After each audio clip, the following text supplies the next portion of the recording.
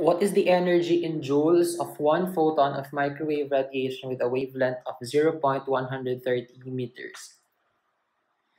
If you're given the wavelength and you want to solve for the energy, the formula is hc over lambda.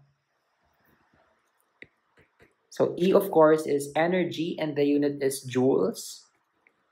H is Planck's constant. And the value of Planck's constant, as we know, is 6.626 times 10 raised to negative 34 joule second. C is the speed of light and its value is 3 times 10 raised to 8 meters per second divided by lambda is the wavelength in meters. So that's 0.130 meters. Let's see how the units will cancel. Seconds will cancel. Meters will cancel. So the unit for energy is joules. And the problem is asking for what is the energy in joules.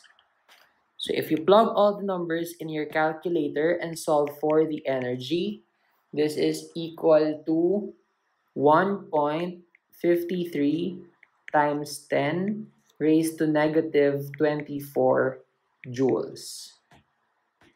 And this is the answer to the question.